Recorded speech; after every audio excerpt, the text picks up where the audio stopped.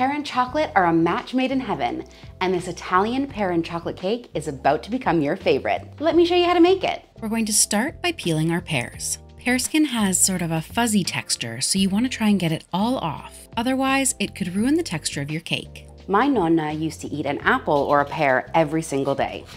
After lunch, she'd sit there and she'd peel either the apple or the pear with a paring knife. And honestly, to watch her do it was masterful. I'm not sure I could do it without a peeler. I'm topping and tailing my pears. Then slice them down the middle and remove that little woody core with a spoon.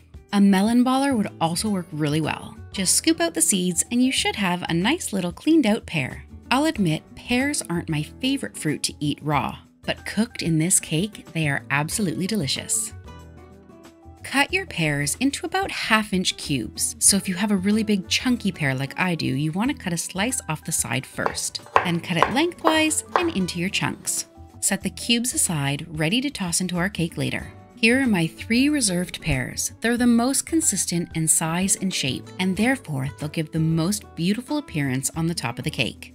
We'll slice these in half and remove the seeds the same way, to make our fan pattern, we're going to leave the top of the pear intact, about half an inch or so, and then slice down the length of our pear. Don't worry if a few of them break. We can rearrange them when we place them on the cake. You want these slices to be about one centimeter apart, and that will fan out just like this on the top of our cake. Continue with the rest of your pears, then set them aside while we prepare our batter.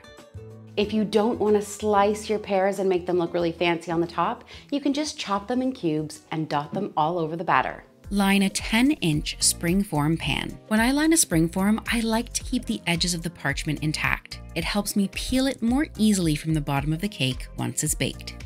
Preheat your oven to 175 degrees Celsius or 350 degrees Fahrenheit.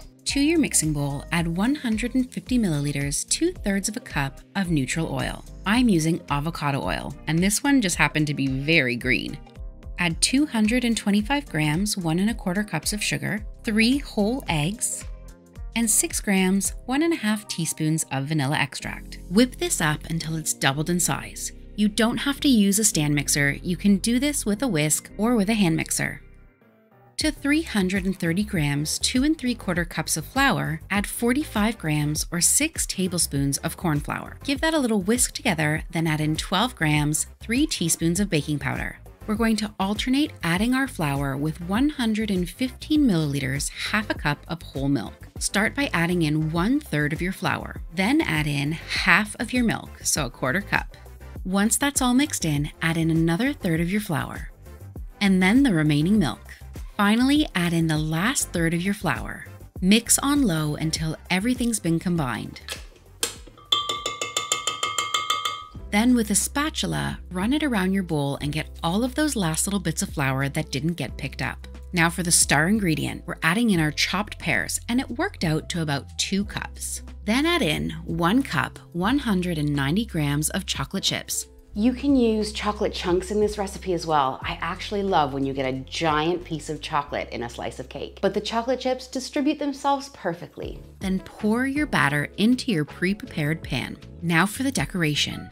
Fan out your pears before putting them on top of your cake. Give them a really good squish down with your hand and then place it so that the fanned edge is touching the outer ring of the springform pan. And like you can see with that little broken piece, it just slides right in there and nobody will even notice. Evenly space the pear halves around the top of the cake. I ended up using five pear halves, so I had one spare, and that's going into the oven.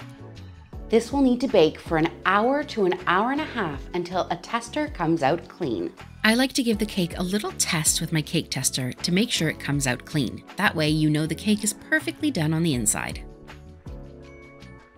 While it's still warm, I like to run a knife around the outside edge of the cake. This makes sure that as it cools and contracts, none of those bits of pear or the top rips apart.